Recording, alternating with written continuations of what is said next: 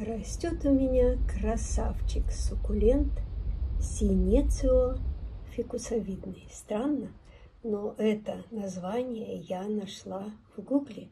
Я уже в одном из сюжетов говорила, как с помощью фото и гугла определить название. Так вот, этот красавчик очень легок в уходе и очень легок в размножении. Даже не попадая корешками в грунт, посмотрите, он просто их в разные стороны отправляет на авось.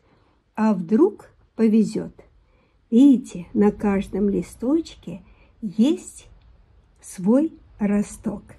Также замечательно размножается и эхиверия с помощью листочков. Если приглядеться, вот там есть у меня целый рассадник.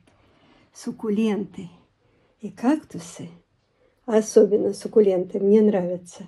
Они очень просты в уходе, переносят засуху, но перелив их погубит.